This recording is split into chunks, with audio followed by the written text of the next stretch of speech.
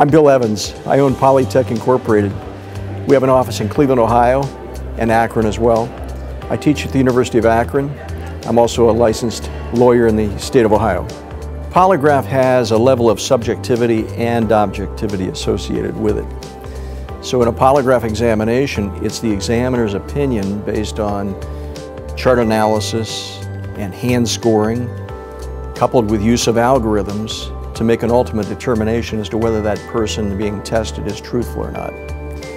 EyeDetect is totally objective in the sense that the examiner has no input in the ultimate decision. So the algorithm ends up making the call on the person being tested for either truthfulness or deception. The researchers have established certain cutoffs for a person who's to be identified as being truthful or not. Those cutoffs are done based on independent studies and research behind the scenes that I, as an examiner, have no input in. So the subjects that are being tested for that accuracy then are identified by, by the researcher's back office, if you will, all right, not by the examiner who's actually doing the test.